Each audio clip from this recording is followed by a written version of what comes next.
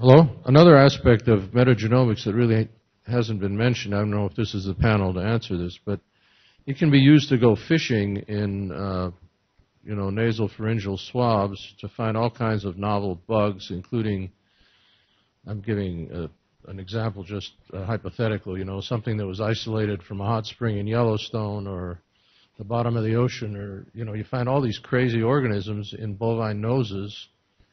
Uh, um, how do we sort out all that? All these pathogens. We've all, only talked about four or five pathogens. What about all the ones we don't know about?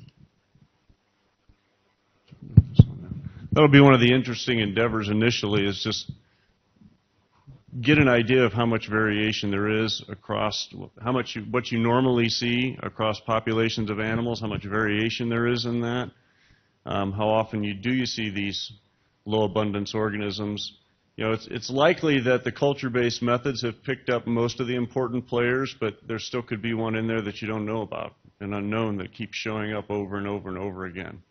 Um, you know, there's uh, to some degree examples of that um, in uh, human uh, cystic fibrosis, where other organisms have been been identified, some through culture, but also some through metagenomic sequencing. So it, it's just a matter of rolling up your sleeves and getting getting into doing it but I can't, I can't uh, underscore the importance of designing your studies properly. That's the really critical part to doing it. Otherwise, it's just data.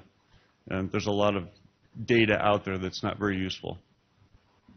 Uh, Dr. Brumbaugh, you create or presented some really interesting new directions that, that science could go and maybe should go. The thing that discourages me is every time Mike Apley reports to us back from his interactions with decision makers, seems to be that science doesn't matter, that it's the emotion, the perception, et cetera, that is driving that truck. So I'm I'm wondering about the the place, the relevance of science anymore, and and the or or maybe scientists should be more emotional and create more perceptions. Maybe that's the way to, to get our points across. So I, I'm looking for balance there or, or insights into the future role of science. Yeah, I think that's a really good point. It, it doesn't take much regulation to squelch good science, and that doesn't always, um, they don't always go together. I don't have the answer either. If if I influenced change, it would have happened a long time ago, and um, I I still go down swinging. Uh, I'd rather be on the side of good science than uh, emotional politics. Maybe one of the things we need is better advertisement. Maybe that'd be the better way to do it. Get a good marketing campaign that uh, could handle that. But I haven't seen much of that show up in the literature either. Gordon, I want to ask you a question, and, and, I plant this seed in every audience I get an opportunity with, and this is a really good one because the the thing I never hear in the antimicrobial talks and the drug resistance talks is um, what's the impact of the use of antimicrobials on um, genome evolution. And when you hear that first, you, you look at me and say, why on earth would he ask that? But the, the most rapid and efficient way that new pathogens emerge, emerge is by mixing around existing genes.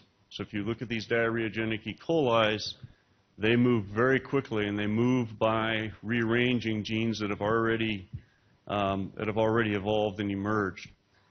And if you look at antimicrobial resistance, most of the the well-known, well-studied resistance markers, they're always associated with mobile genetic elements.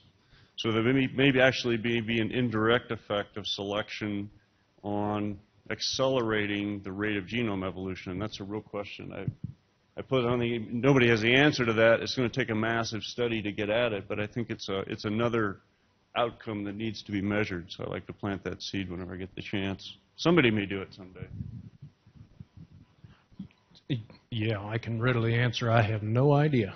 But uh, the thing that uh, along that line is that when people go looking for resistance genes in the environment, they're so surprised when they find it. I heard a deal just uh, earlier this week or over the weekend that They found some resistance gene from a sample that they found offshore somewhere in the ocean. And they were just absolutely enamored. How in the world could that gene have gotten so far from people? Study pharmacology. Where do our drugs come from? They come from the environment. If something survives in the environment, it's got to become resistant to something. And the mold that started the group of drugs that we know of cephalosporins came from a cesspool, the effluent from a septic system off the shore of Sardinia in the Mediterranean islands or Mediterranean Sea. They're out there. It shouldn't be a surprise. Yes, they're sharing genes because they got to live with each other and somebody's got to survive. How they do it, I don't know, and what influence, I don't know, but I agree that that's a subject to look into.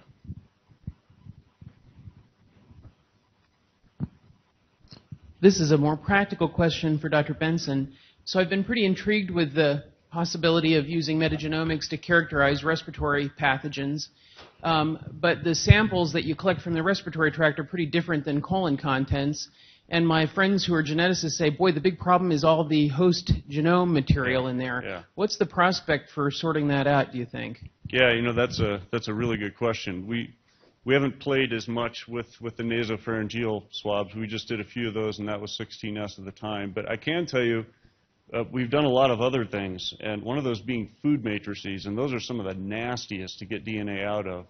And if, if you're in muscle tissues or anything like that, you have to resort to some crazy methods to try and get rid of host DNA because with full metagenome, it's just eating up your sequencing space.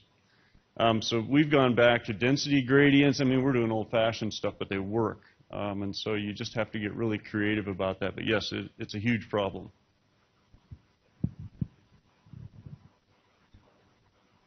Comment. I just want to comment on the, where the, antibiotic resistance genes come from and why are people surprised when they find them in these weird places. And it, it is true. You, you know, a lot of antibiotics are made by microbes. Actinomycetes are bacteria that are known for making um, making antibiotic antibiotics. And actinomycetes have been around for a billion years. They evolved about a billion years ago. And so, uh, antimicrobials, antibiotics have been around probably for about a, a billion years.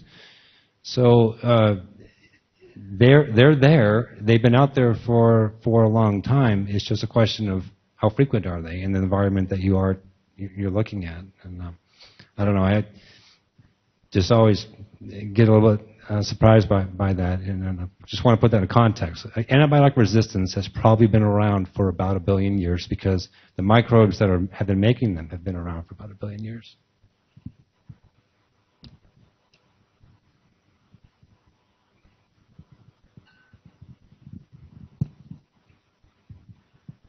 Yeah, and I, in thinking about that, you know, it's true, but I hate to see the argument that resistance has always been here is saying that any pressure we apply today is okay, because it's not. And if you look at fluoroquinolones, that's not something that came from the natural environment. That's something that we created, and now we see, and we can argue about the application of breakpoints, et cetera, but uh, you know, the, the fluoroquinolones pharmacodynamics are ones that actually were developed in vivo human ventilator associated dependent patients and on through other places. But, uh, you know, Gordon, I guess I'm curious. Are, so is resistance a myth and we should just go on doing everything the way we are and it's a myth that's made up? And I, I just, I saw two messages during your talk and I'm just curious where we are.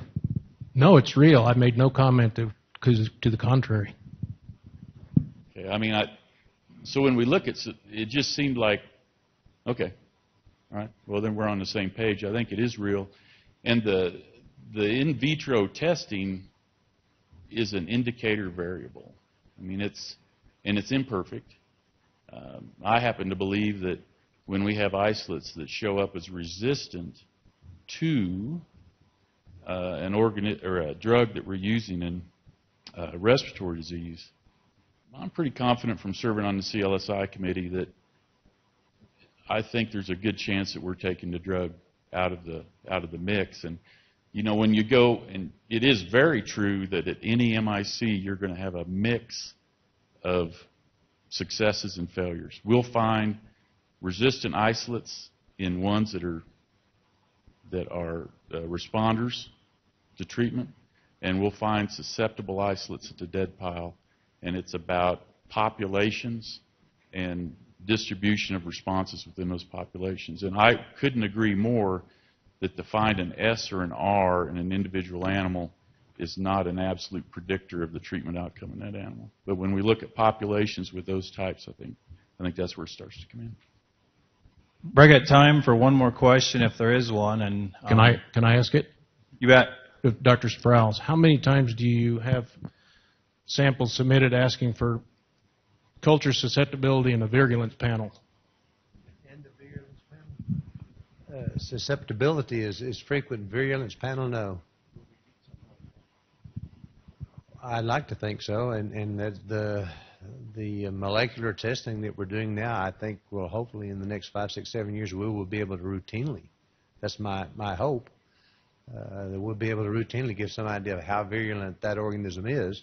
One of the comments I made about wrecks, if we have viruses in there that are virulent, then probably we're going to see a real wreck. If those are just viruses that are as benign uh, as far as uh, producing disease is concerned, uh, like you would expect out of a, a vaccine, then we're probably not going to have a wreck. Well, I think we'll take our break. I just want to personally, um, I, get, I don't see Dr. Chase in here, but all you guys on the committee, I see a lot of you guys. I think this has just been, for those of us out in practice, we've spent a lot more time at the nucleotide level than, than we're all used to, but I'm just thoroughly convinced that sometime when I have a few more gray hairs, we're going to get this thing figured out. But it's probably going to be a combination of Dr. Benson at the A's and the T's and Dr. Tom in, out in the feed yard. So it's exciting times. So I just want to um, thank all you speakers personally. Thank you organizers. Um, and I think we break for for lunch, and I don't know when we'll go back. The cowbell will ring, I guess. So thank you. Let's give our speakers one more round of applause.